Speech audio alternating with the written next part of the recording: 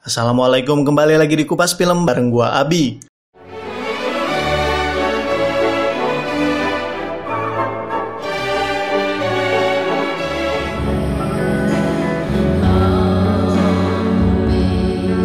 Sejak kemunculan trailernya akhir tahun lalu, gue sedikit khawatir bahwa film panjang ketiga Robi Ertanto Sudiskam ini akan berakhir sebagai usaha copy-paste dari film tahun 2013 berjudul Ida karya Pavel Pawelowski yang, yang meraih Academy Award untuk film berbahasa asing terbaik pada tahun 2015. The Oscar goes to Ida.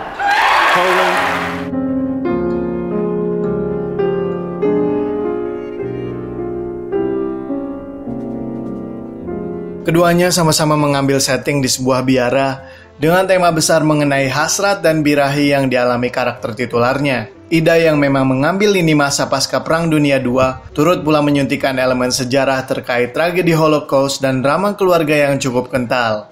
Sementara Abe Mariam lebih menyoroti benturan antara keimanan dan hasrat duniawi yang bergelora. 15 menit pertama sejak film bergulir, tebakan gua tidak sepenuhnya meleset. Keduanya dituturkan dengan sangat kalem dan minim dialog yang sangat kontemplatif. Dengan treatment directing yang hampir sama dan kualitas sinematografi yang luar biasa epic.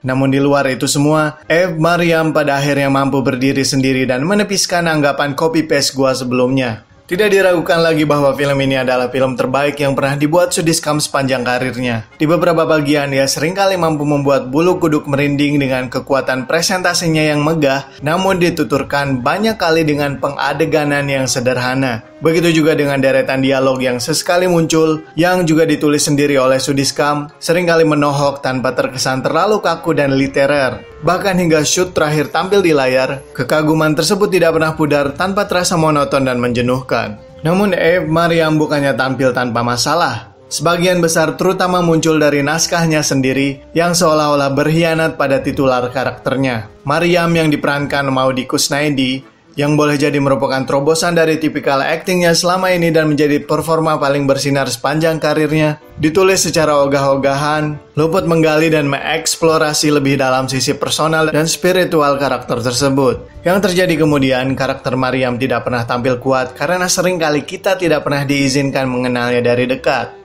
Begitu juga kehadiran karakter Joko Anwar yang terasa cukup sia-sia dan terkesan menghilang begitu saja serta suster Monik yang kembali diperankan the one and only Tuti Kirana yang sayangnya tampil sedikit lemah dibandingkan dengan karakternya di mantan-mantan tiga minggu lalu.